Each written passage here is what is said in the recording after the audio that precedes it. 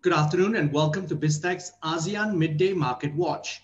Our guest today is Stephen Innes, Chief Global Market Strategist at Axi. Hi, Steve. Great to have you again on the show. Thanks for having me, Brian. Great to be here. Now, let's take a quick look at markets and see how the markets around the region are performing. We'll start with the Nikkei. It's up uh, sharply, and just hold on. Let me just get back.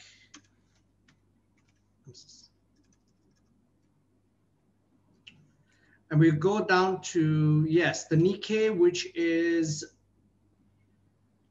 up 1.4% to 28,637.38.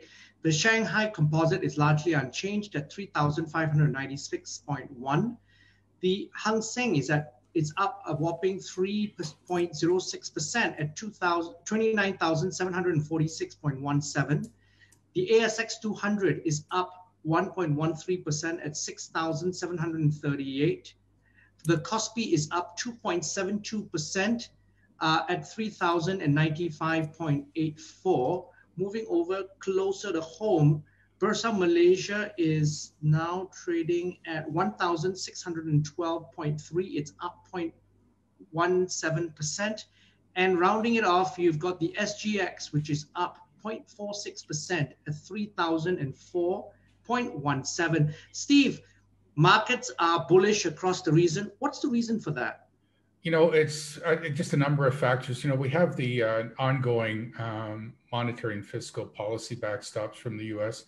The markets continue to like the idea of vaccines, although they're rolling out slowly. The eventuality is, is that those green lights are going to flash at the end of the COVID tunnel. But I think today, um, given the proximity of the inauguration, we're starting to see investors vote with their buy button, suggesting that they kind of like this uh, new Biden administration, and why not?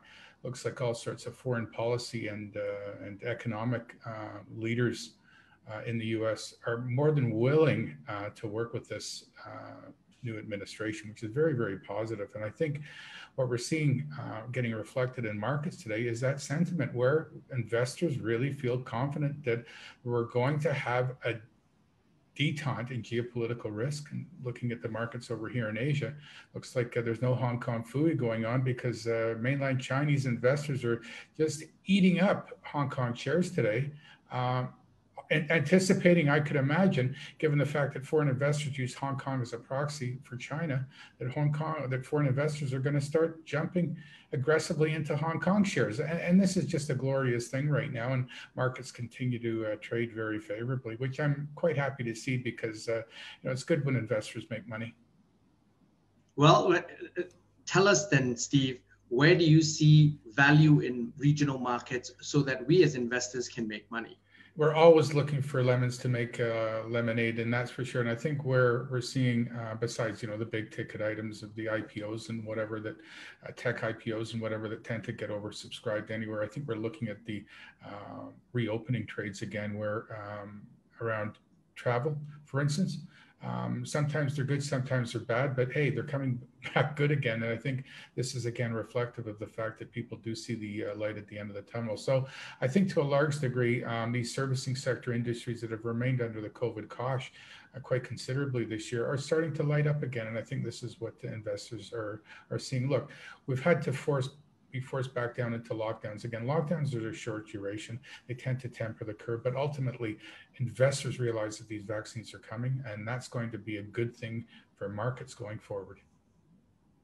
Now, what's your view on oil markets given the cooling sentiment from last week?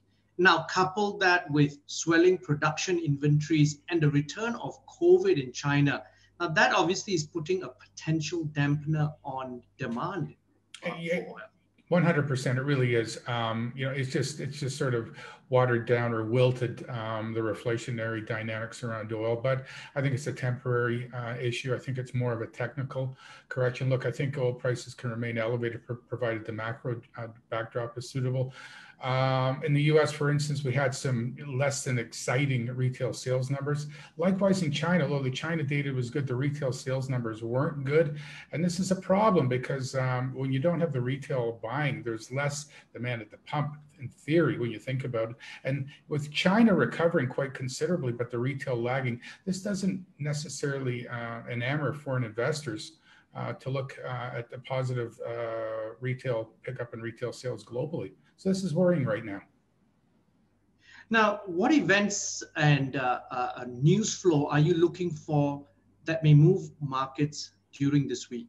Well, the markets are looking at Yellen. I just think she's just going to go go through the cursory uh, cursory responses uh, her confirmation. The Senate majority will just basically rubber stamp her through.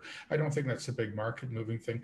Uh, the Feds are, are in uh, blackout mode, so therefore, in theory, U.S. economic data should do the talking. So all the economic data coming out will be rather significant. However, my view and my continual view here is going to be the speed of the vaccine rollouts, how that evolves. Look at Biden's promised 100 million vaccines and vaccinations in the first 100 days. Will we get a million the first day? Well, that'll be a good sign if we do. If we don't, the markets will start backpedaling on that notion. So I'm watching the uh, watching the vaccine rollouts quite closely.